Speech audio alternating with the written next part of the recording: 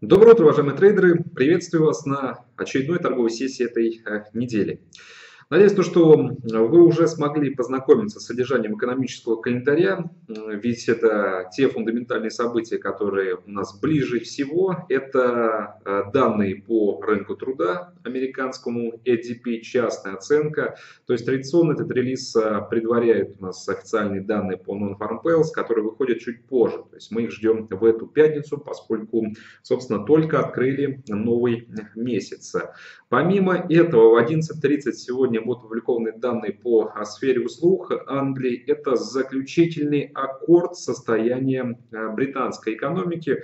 Мы поговорим об этом отчете сегодня чуть подробнее, потому что ему нужно уделять больше внимания, ведь на сферу услуг приходится больше 80% всей экономики по экономическому росту.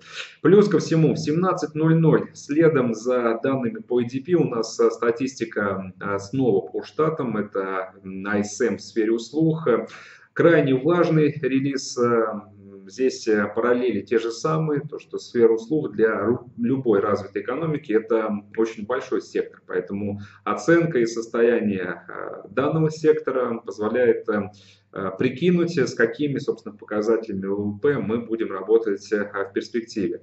И плюс ко всему, сегодня у нас две очень важные конференции, э, сразу самых главных, опять же, руководителей регуляторов крупнейших регионов, это Еврозоны и США, в частности, в 2015 у нас будет вещать Драги, и в 22.15, закрывая, собственно, торговую сессию, еще ждем выступления Джанет Йеллен, возглавляющей американский американский регулятор. Вывод на основании столь насыщенных торгов по новостям, по событиям мы должны изначально готовиться к тому, что волатильность будет на порядок выше, чем обычно. Мы должны все-таки верить, что сегодня, будучи эм, наличие серьезных э, релизов по штатам. У доллара будут возможности при определенном э, раскладе и реализации сценария по э, тем данным, которые выйдут, получить достаточную поддержку. Сегодня у Джанет Йеллен есть снова шанс еще раз обозначить позицию ФРС по поводу процентных ставок и э, сделав акцент на высокую вероятность декабрьского ужесточения монетарной политики. Собственно, так же, как и у Драги, снова есть возможность э, обратить внимание общественности, всех трейдеров, которые ждут, что еврозона также будет следующим регионом на пути тех площадок, которые ужесточают политику. Эм, собственно, у Драги будет возможность снова акцентировать внимание на важности сохранения мягкой экономической политики и ни в коем случае не нормализации ее. Может быть в перспективе там, не совсем ближайшего, очень далекого времени, я уверен, что это не раньше даже середины 2018 года, эти вопросы могут всплыть по поводу сокращения баланса и роста процентных ставок, но до этого еще очень много времени пройдет, друзья, и будем следить за отчетом по инфляции, который остается самым важным а, в качестве ориентиров для действия монетарных властей Европейского Центрального банка. Надеюсь, то, что до этих пор у нас с вами будет достаточно поводов, что чтобы неплохо подзаработать на слабости евро, тем более, что европейская валюта явно сейчас находится в формировании нового нисходящего тренда. Нужно, чтобы этот тренд продолжился дальше, как минимум к отметке 1.15. Ну, давайте все-таки поподробнее пробежимся по наиболее интересным инструментам которые э, могут показать сегодня э, такие же интересные движения, поскольку э, обязаны реагировать на тот фундамент. Сегодня, поскольку торговая сессия среды, у нас традиционно официальные данные по запасам нефти. Это запасы не только нефтянки, но еще и бензина, дистиллятов и классика по объемам добычи. Очень важный риск, может быть даже важнее сейчас, чем э, запасы э, нефти и бензина, поскольку если уж мы э, некоторое время назад с вами стали говорить о рисках для нефтянки того, что производство нефти в США увеличивается, то, конечно же, каждое еженедельное подтверждение того, что наши с вами прогнозы были верны, усилит этот скепсис, негативное настроение на рынке черного золота и позволит нам, отталкиваясь от этого аргумента, ставить на еще больше ослабление котировок нефти. Э, вчерашняя торговая сессия. В начале вчерашнего брифинга мы позволили себе сделать акцент на то, что цены на нефть будут снижаться вплоть в рамках всей, всех торгов вторника тоже расчет был уверен, потому что мы действительно валились вместе с нефтянкой на протяжении торговой, э, второй торговой сессии этой недели. Получается 6 у нас уже непрерывных по бренду а торгов о снижении. Сегодня может быть тоже день, который усилит эту негативную динамику. Важно отметить то, что балом по-прежнему правит прежнее негативное настроение, связанное с тем, что последний скачок цен на нефть мог стать причиной еще большего переизбытка. Если повариться разбираться в этой теме, мы, конечно же, понимаем то, что при таком сценарии вот это э, достижение балансового состояния как э, возможность, как реальность э, Э, затягивается по времени на э, крайне э, неопределенный период времени. Я думаю, то, что не скоро этот баланс будет достигнут, если и вообще будет достигнут, но не с теми усилиями, которые, конечно же, сейчас предпринимаются ключевыми производителями углеводородов. Мы помним то, что нефть открыла эту неделю серьезных распродаж. В принципе, можно сказать то, что за первые несколько дней нефтянка потеряла около уже 3%. И одним из основных главных драйверов, собственно, этих распродаж выступила оценка аналитиков Reuters, которые опять же, абсолютно практически однозначно констатировав уровень по э, состоянию и экспортных показателей, и по загрузке танкерных мощностей пришли к выводу о том, что ОПЕК по-прежнему продолжает нарушать взятые на себя обязательства и индивидуальные квоты. Но прежде всего речь идет о том, что для стран ОПЕК, как вы помните, в соответствии с договоренностями энергетическим пактом еще конца 2016 года действовало ограничение на добычу 32,5 миллиона баррелей в сутки. Вот э, согласно э, тому же самому опросу Reuters э, сейчас добывается больше 32,86 6, то есть на 360 тысяч баррелей, больше, чем положено. И нарушают эти дисциплины отдельные регионы. Мы вчера говорили, помните, по цифрам и по Ираку, и по Ирану, и по Саудовской Аравии, и по Ливии. Обозначили прогнозы и планы того, что производство будет и дальше увеличиваться.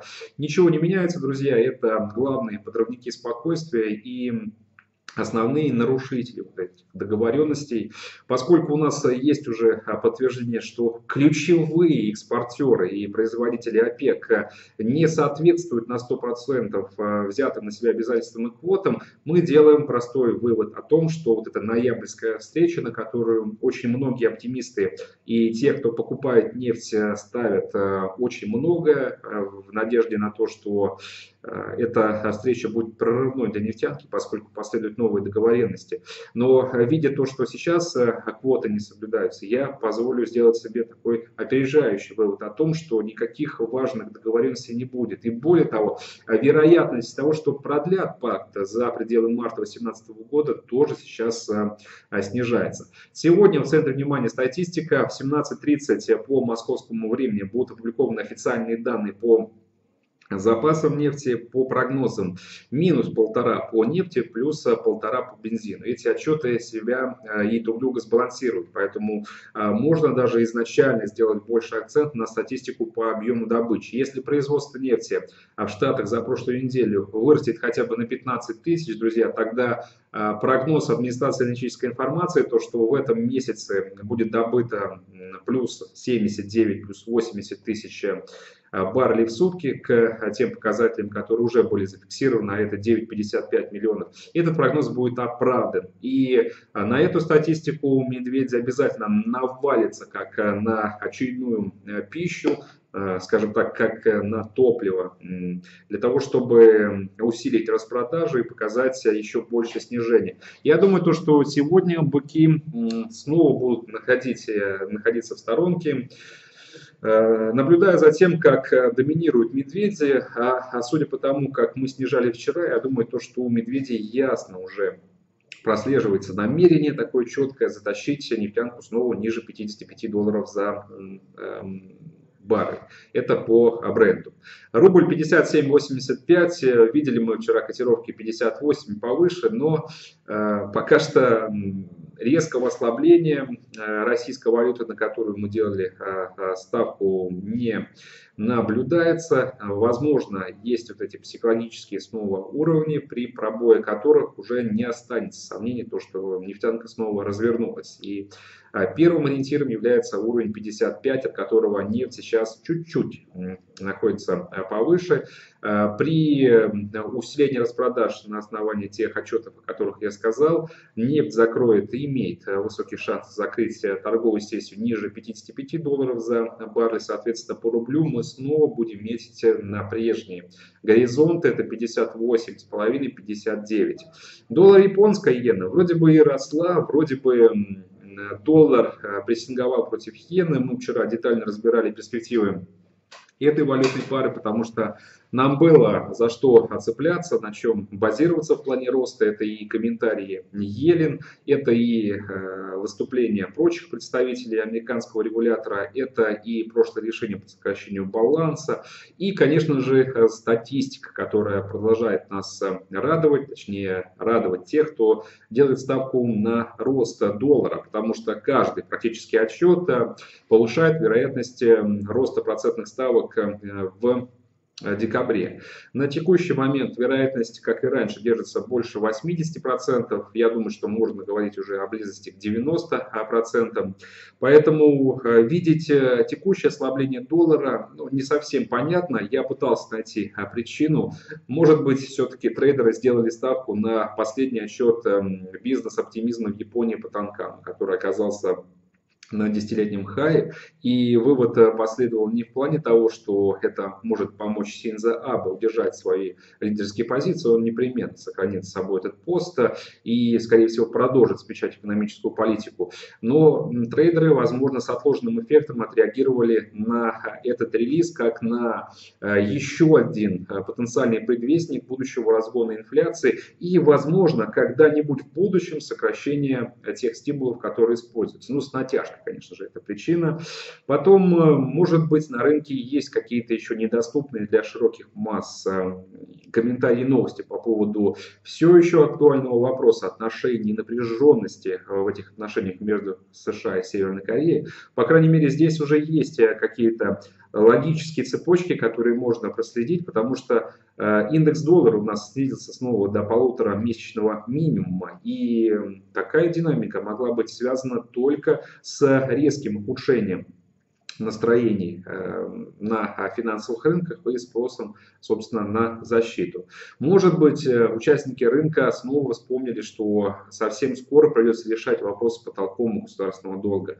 Может быть, участники рынка готовятся к э, статистике по non-farm payrolls, по рынку труда, уже с расчетом того, что эта статистика будет крайне плохой, поскольку будет отражать последствия ураганов и стихийных бедствий и закладывать постепенно уже эти риски. Это еще как одна из причин. Но, на мой взгляд, э, чего-то серьезного того, что стоит обсуждать и говорить о том, что все, друзья, отказываемся от длинных позиций по доллару, не произошло.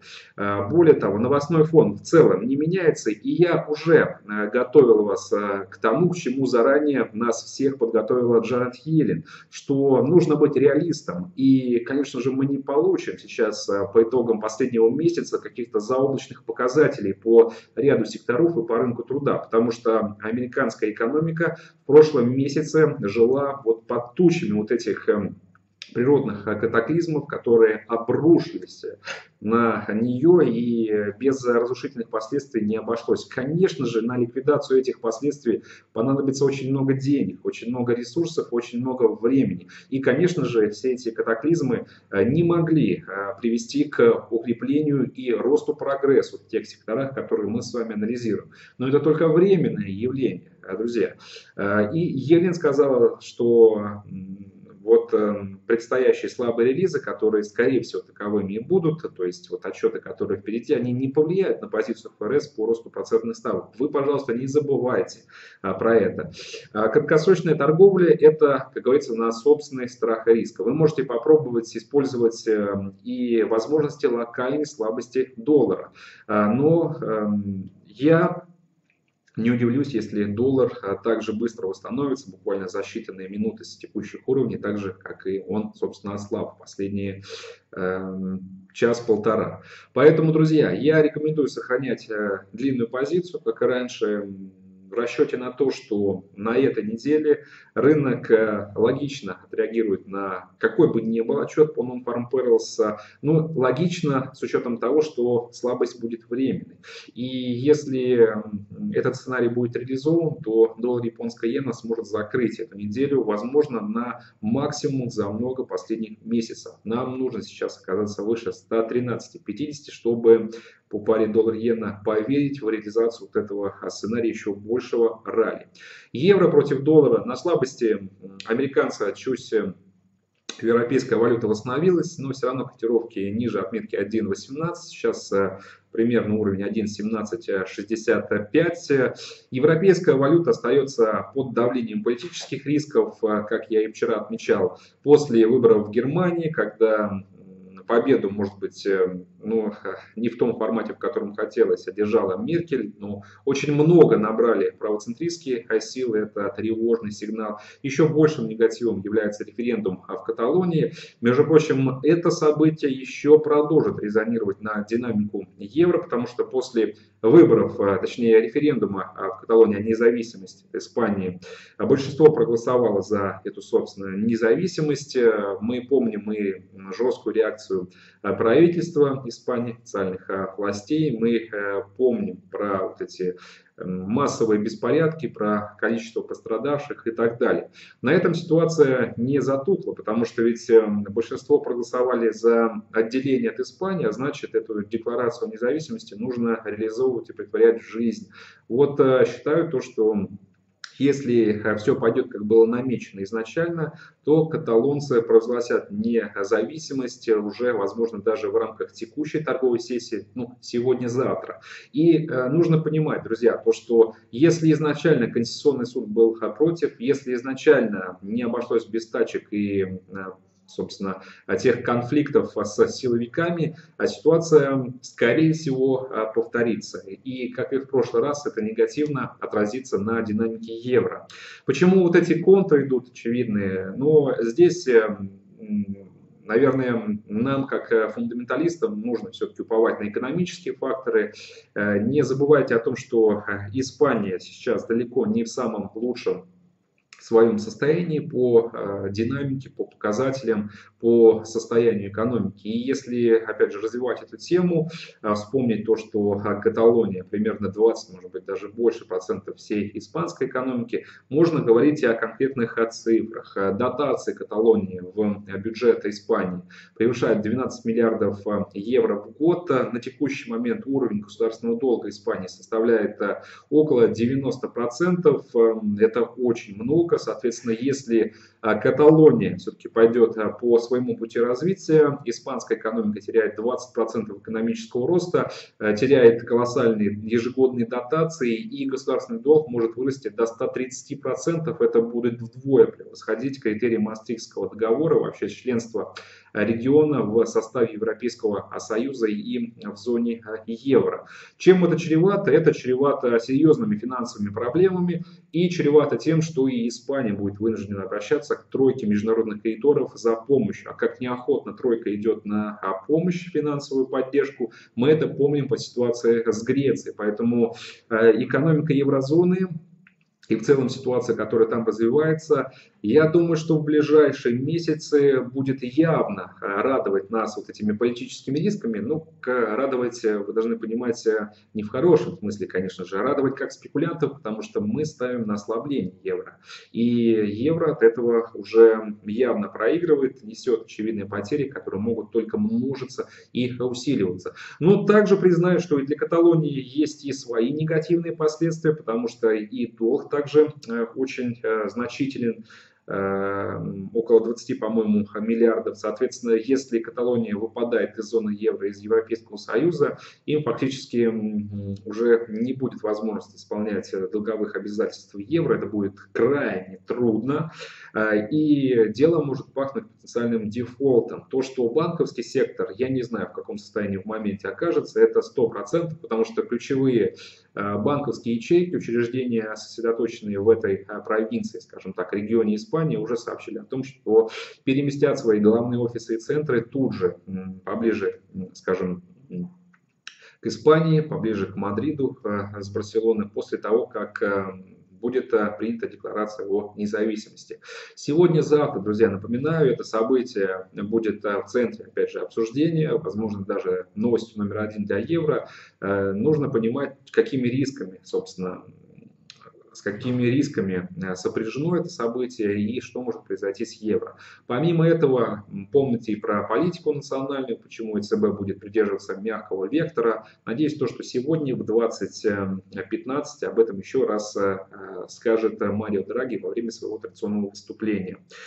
Друзья, э, индекс S&P у нас на очередном историческом максимуме, но никак не хотят оставлять в покое быки этот актив, а уже переключились на новый позитив, это очередной сезон квартальных отчетов. А, считается, что он, может быть, не будет таким классным, как прошлый. В прошлом квартале а, средний показатель роста выручки составил 12,3%.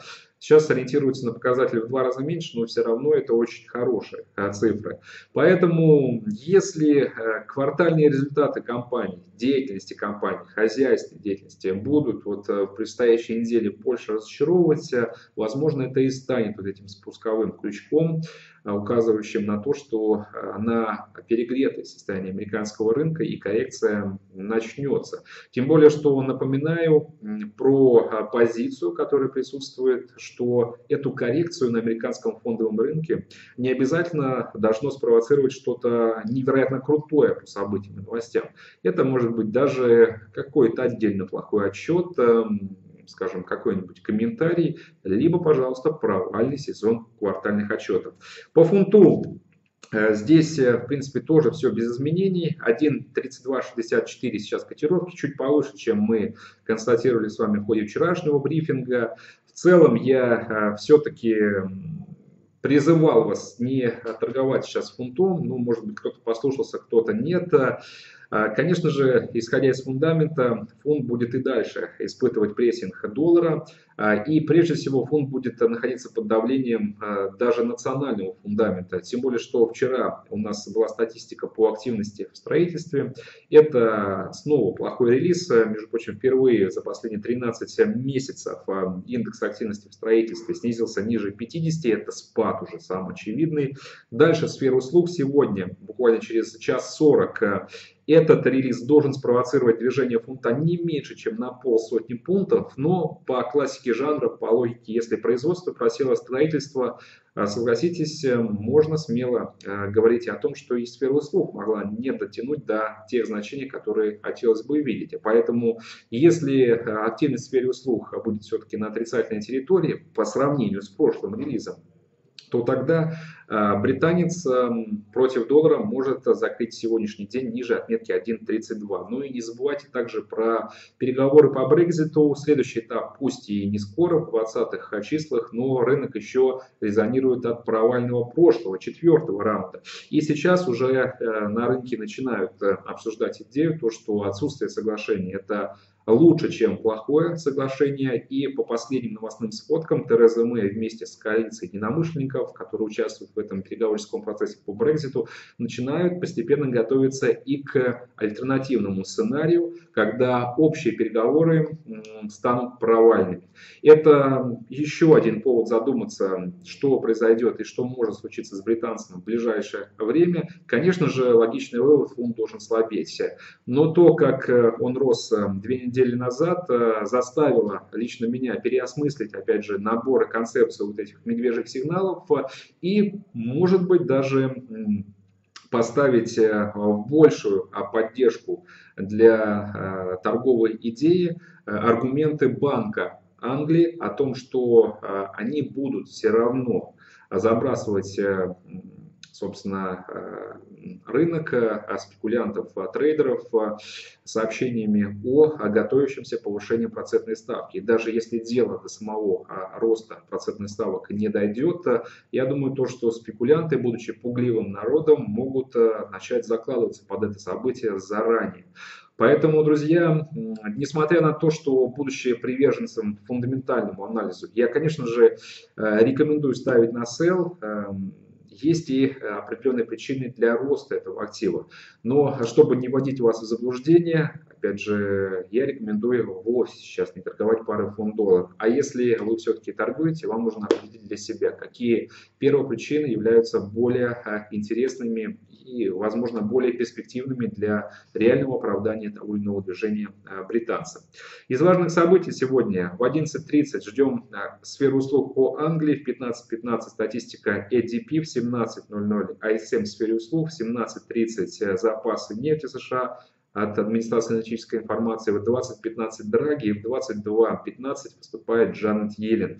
По событиям в целом уже поговорили, ориентиры ожиданий ясны, поэтому остается только пожелать вам удачной торговой сессии и, как и всегда, настраиваясь на очень подвижное состояние рынка, на высокие показатели волатильности, контролируйте загрузку ваших депозитов и соблюдайте классические правила риск-менеджмента. На этом, друзья, собственно, все. Большое спасибо за внимание. Всего доброго. До свидания.